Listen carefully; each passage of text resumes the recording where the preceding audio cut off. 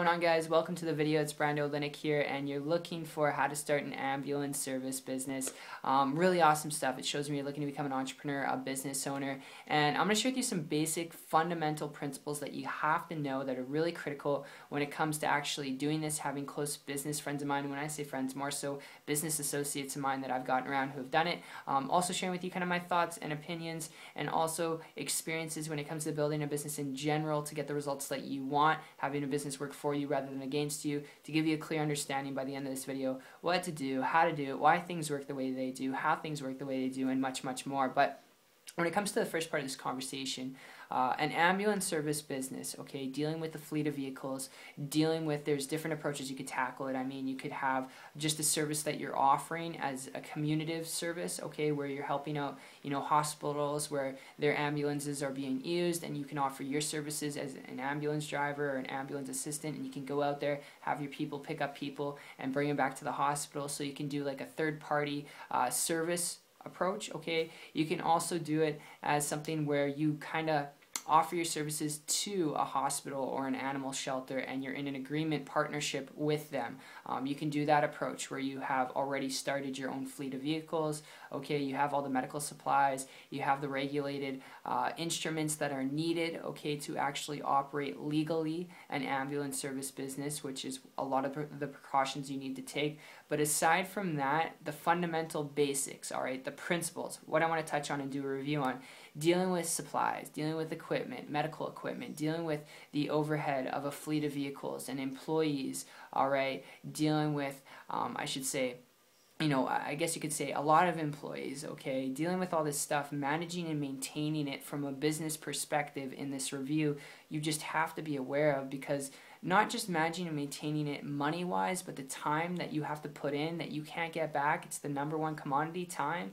All right. It can drain you, okay, when you're working 16 hour days, when you're the first one to show up, the last one to leave, and just running the show, it can it can beat you up, okay? Um, and that's just something you got to be aware of. It goes with the territory of an ambulance service business. You got to be there on the spot when things are in need, okay? And it doesn't matter the approach you got to take. That's just the fundamental principles you got to learn. And this can cost you. I've seen people start ambulance ambulance service businesses anywhere from $50,000 up to and over $100,000. Obviously, it depends on the equipment, the supplies you're using, how many fleets you have. Okay, if you have a lot of fleet vehicles, if you have only a couple vehicles, all right, it shows you how much you can operate. And, um, you know, from that perspective, honestly, if you're only looking at this because you want to build a business to be your own boss, I would advise you before you consider starting an ambulance service business, if you're looking at this to turn a high profit margin, if you're looking at this to be your own boss, if you hear me out here for a minute, I've got a lead I want to throw your way. And my story and experience with this goes back a year ago when I came across a person who wasn't dealing with that, building a business, get this, a high multiple six figure income business without supplies, equipment, employees, without a fleet of vehicles they had to manage and maintain, all right, without any of that stuff and building it on the internet. They were building a business online, having the leverage to pick up and travel and move where they wanted to move and live there and build an income and maintain it. And because they were doing this, making more money every month than I was making in two years, I started model and copy them and not average your typical results, but in my first month and total of 90 days, I created a full time income business working part time. and uh, I worked my butt off for lack of better words. I had to learn a lot of stuff like you'd have to in any business, but to save you a lot of blood, sweat, and tears only if you're looking at this to build a business, to build an income.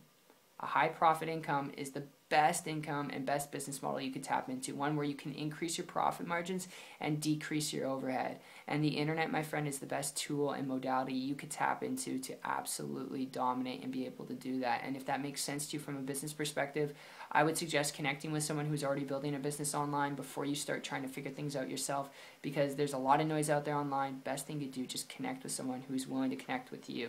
And if you're still adamant on starting an ambulance service business, even though this is a business model review, if you want to learn this, comment down below. I'll break it down in more detail, share with you a little bit more, and actually point you in the right direction, introduce you to some people. Just comment down below. But if you're looking at this to build an income, to do what you want, to have flexibility, time, freedom, and leverage, learn to build a business online. And if you're following me here and this makes sense to you, if you're willing to put in work, you're not afraid of learning, connect with me on my site. Check it out. It's 123marketingtips.com. And ending with this video, I'll put the link down below. And uh, I look forward to seeing your success story, regardless of if you decide to connect with me or not. I hope you got value. And uh, I look forward to seeing you on the beaches of the world. Take care.